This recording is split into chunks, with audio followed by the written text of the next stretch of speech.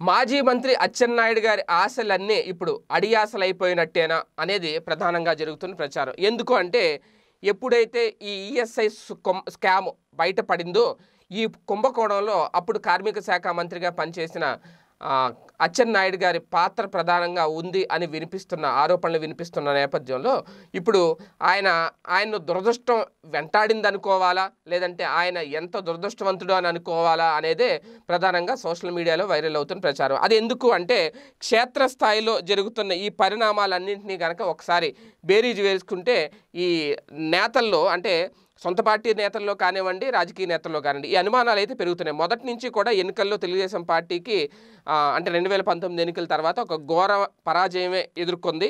ఆ ఈ నేపథ్యంలోనే మొదటి నుంచి అంటే పరాజయం ఎదురైన దగ్గర నుండి కూడా పార్టీ అధ్యక్షుడు కళా వెంకట్రావుని మార్చాలని చెప్పి చంద్రబాబు నాయుడు గారు ఒక గట్టి ప్రయత్నం అయితే చేస్తున్నారు. నిజానికి కళా వెంకట్రావు గారు మరి ఆయన వల్ల పార్టీ పరాజయం పాలైంది అనుకున్నారో చంద్రబాబు గారు ఏంటో తెలియదు కానీ పార్టీ అధ్యక్షుడిగా మార్చబోతున్నారు. పార్టీ అధ్యక్షుడిని అనేది మొదటి నుంచి జరుగుతుంది. వాస్తవానికి ముప్పై ఏళ్ళ సర్వీస్ ఉంది.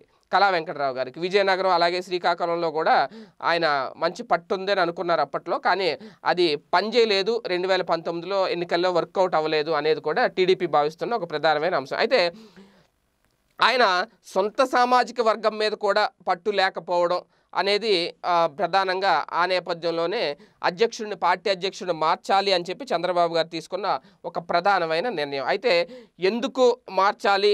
ఎవరిని పెట్టాలి? ఆ స్థానంలో అనుకున్నప్పుడు ప్రధానంగా బయటకు వచ్చిన పేరు అలాగే ఒక బీసీ సామాజిక వర్గానికి చెందిన వ్యక్తికి అధ్యక్ష పదవి ఇవ్వాలి అనుకుంటున్నప్పుడు అచ్చెన్నాయుడు గారి పేరు బయటకు వచ్చింది తెర మీదకి. అచ్చెన్నాయుడు గారికి తెలుగుదేశం పార్టీ అధ్యక్ష పదవి కట్టబోతు కట్టబెట్టబోతున్నారు అనేది ప్రధానంగా వినిపించింది. ఇంకా ఇంకా ఇవాళ రేపు ఒక రెండు మూడు రోజుల్లో ఆయన పేరు అధికారికంగా అనౌన్స్ చేసేస్తారు. పదవి కట్ట కట్టబెట్టేస్తారు అనుకుంటున్న టైంకి ఈ ఈఎస్ఐ స్కామ్ బయటకు వచ్చింది అది కూడా ఆయనదే ప్రధాన పాత్ర.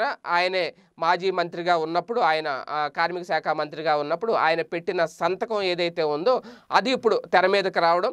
సో ఈ నేపథ్యంలోనే పార్టీ అధ్యక్ష పదవి రాబోతుంది. తలుపు దాకా వచ్చి వెనక్కి వెళ్ళింది అందుకే కళ ఆయన ఎంత దురదృష్టవంతుడు అనేది ప్రధానంగా జరుగుతున్న ప్రచారం. ఎందుకంటే నాలుగు రోజుల నుంచి సుమారు వెయ్యి కోట్ల రూపాయల భారీ స్కామ్లో అచ్చెన్నాయుడిదే కీలక పాత్ర అనేది అలాగే ఈ స్కామ్పై దర్యాప్తు చేస్తున్న విజిలెన్స్ అండ్ ఎన్ఫోర్స్మెంట్ అధికారులు కూడా అచ్చెన్నాయుడి పాత్రని స్పష్టంగా చెప్పడం.